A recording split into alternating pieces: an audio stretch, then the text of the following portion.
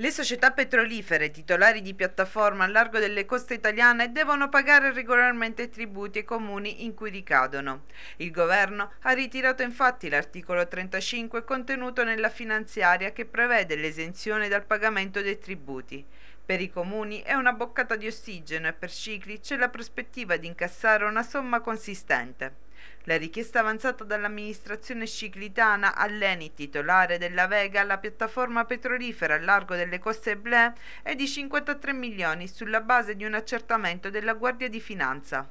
I comuni, tra cui Scicli, avevano fatto fronte comune all'Anci, denunciando un'evidente penalizzazione.